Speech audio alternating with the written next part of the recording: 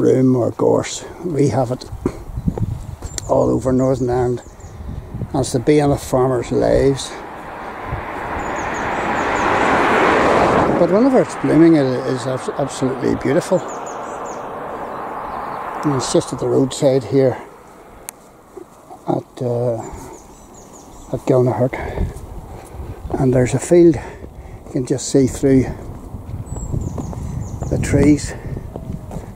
There's a field full of it up here. Broom gorse, or we would call it whin. If you fall into it, uh, it's not a good idea because it's uh, it's jaggy and you rip yourself to bits.